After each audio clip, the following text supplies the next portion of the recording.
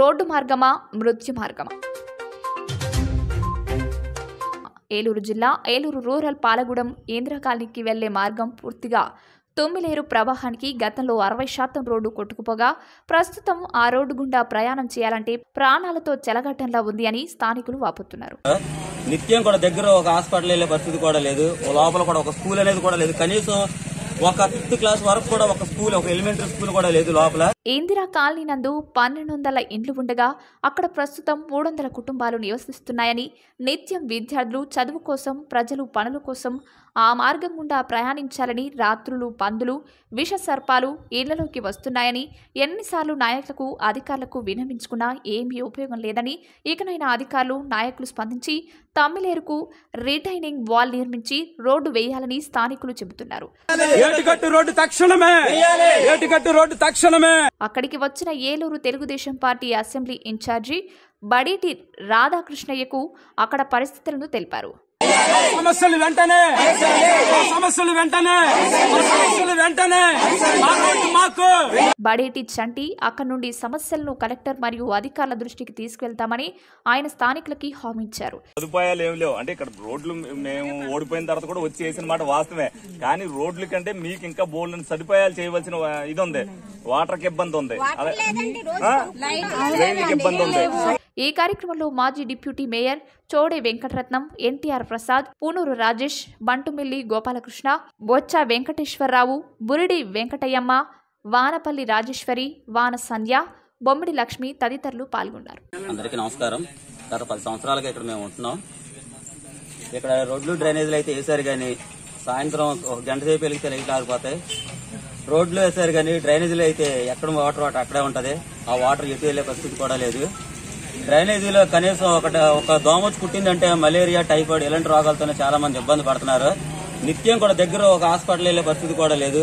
లోపల కూడా ఒక స్కూల్ అనేది కూడా లేదు. కనీసం ఒక ఫిఫ్త్ క్లాస్ వరకు కూడా ఒక స్కూల్ ఒక ఎలిమెంటరీ స్కూల్ కూడా లేదు లోపల. నిత్యం స్కూల్ బ్యాగులు వేసుకుని నిత్యం పిల్లలు బయటికి వెళ్తున్నారు. ఇక్కడ రోడ్డు చూస్తే రోడ్డు కూడా చాలా వరకు డ్యామేజ్ రోడ్డు చూస్తే రోడ్డు వరకు చాలా డ్యామేజ్ అయిపోయింది.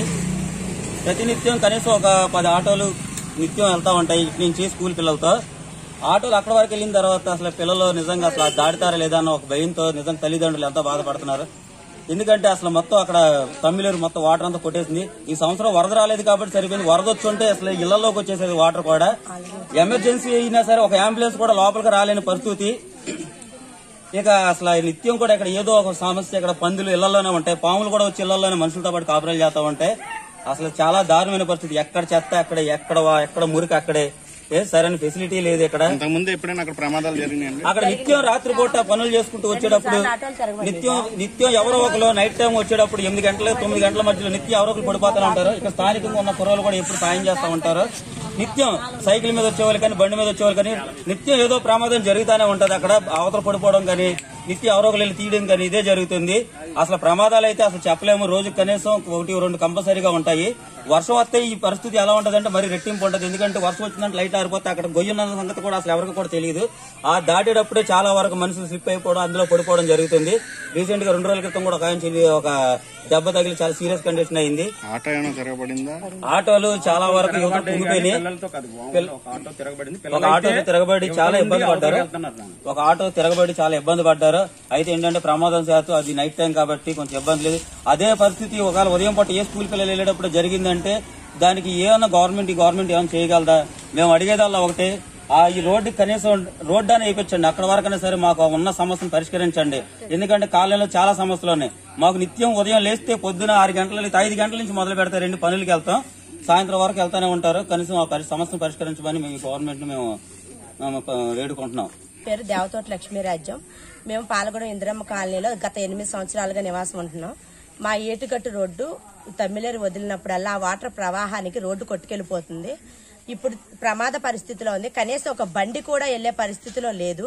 మా పిల్లలు కానీ భర్తలు కానీ మేము కానీ అదే మాకు మెయిన్ రోడ్డు బయటకు వెళ్ళడానికి ఏలూరు నుంచి బయటికి లోపలికి రావడానికి. ఇప్పుడు మాకు తక్షణమే ఆ రోడ్డుకి వాల్ కట్టించి తొందరగా ఆ రోడ్డుని శాశ్వతంగా పరిష్కార ఆ రోడ్డు సమస్యను పరిష్కారం చేయాలని మేము అధికారులు కోరుకుంటున్నాము. ఆంధ్రంగి మౌనిక ఈ రోడ్డు బాగోట్లేదని మేము పైన అధికారులకి ఎప్పుడో కంప్లైంట్ ఇచ్చాము. వాళ్ళు ఎప్పుడు ఇప్పటికి వచ్చి పట్టించుకోలేదు.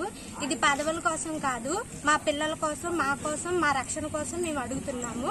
దయచేసి ఈ మీడియా ద్వారా మా బాధని విన్నపం చేయాలని మేము కోరుకుంటున్నాం నా పేరు కండవల్లి సుగుణకుమారి. నేను ఇక్కడ ఐదు- ఎనిమిది సంవత్సరాల నుంచి ఉంటున్నాను.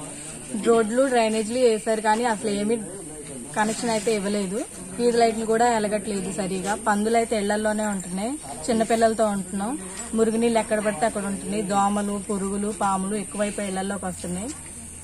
దీనికి తగిన పరిష్కారం చేస్తారని మీడియా ద్వారా కోరుకుంటున్నాను. వెళ్ళే రోడ్లు బాగోలేదని అదే రోడ్లలో నడిస్తే దాని మీద నిన్న ఆయన పాదయాత్ర చేయడానికి ఉత్తినే రబ్బీష్ పోయించుకుని పాదయాత్ర చేశాడు. మళ్ళీ నేను ఇందిరా కాలనీ వెళ్ళాను కొత్తూరు ఇందిరా కాలనీ. ఆ రోడ్లన్నీ బాగోలేదని అదే నీటిలో నేను నడిచానంటే నేను అనేది మీకు మేలు జరగాలనే ఉద్దేశంతోనే నేను పాదయాత్ర చేస్తున్నాను ఎందుకంటే ఇప్పుడు మీకు సమస్య ఉంది.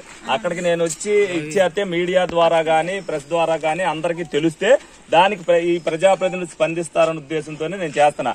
అదే అంటే మీరు కూడా గమనించాలి ఇప్పుడు ఇది వరకు మీకు లైట్లు లేకపోతే లైట్ ఇమీడియట్గా వేసారు అని అంటే ఆ మీ పరిష్కారం చేయడానికి ప్రజాప్రతినిధులు వచ్చేవాడు ఇవాళ వాళ్ళు రావట్లా. మీరు ఇక్కడ నుంచి అంత దూరం వెళ్ళాలంటే రెండు వందలు ఆటోకి వెళ్తానికి రెండు వందలు రావడానికి రెండు వందలు. వెళ్ళిన తర్వాత ఆయన ఉంటాడో లేదో తెలియదు ఇప్పుడు నాకు ఫోన్ కాల్ వచ్చింది మీరు ఇబ్బంది పడుతున్నారంటే వచ్చా. ఇలాగే బుజ్జిగారు అధికారంలో ఉన్నప్పుడు కూడా మీ దగ్గరికి అలాగే వచ్చారు లేకపోతే ఎవరినో ఒకరిని పంపించి ఓట్లు అడగడానికి ఈ మూడు సంవత్సరాల్లో తిరగట్లా. మేము ప్రజా సమస్యల మీద పరిష్కారం కోసమే ఇంకో ఇంకా సంవత్సరం ఉంది ఎలక్షన్ ఇప్పుడు ఏం ఎలక్షన్ ఏం లేదు. మేము కూడా ఎలక్షన్ వచ్చినప్పుడు రావచ్చు. మీరు ఏ తిప్పలు పడతా తిప్పలు పడ్డారు మీరే వేసిపోయాను కాకపోతే మీరు ఎప్పుడైతే రేపొద్దున్న జరగబోయే రోజుల్లో ఎవరు సమస్యలు పరిష్కరిస్తారనేది మీరు ఆలోచించుకోవాలి. మీరు నిర్ణయం తీసుకునేటప్పుడు అటువంటి ఆలోచన చేసుకుంటేనే అవుతాయి. ఇప్పుడు తప్పనిసరిగా ఇప్పుడు ఎవరైతే మీడియా వాళ్ళు వచ్చారో పేపర్కి కానీ వీటికి కానీ ఇస్తాం వాళ్ళు పరిష్కరిస్తారు. లేకపోతే దానికి ఏం చేయాలనేది నేను ఏఈ గారితో ఎస్సీ గారితో కూడా మాట్లాడి మీకు ఇరిగేషన్ వాళ్ళతో నేను చేయించే ఏర్పాటు నేను చేయించి పెడతాను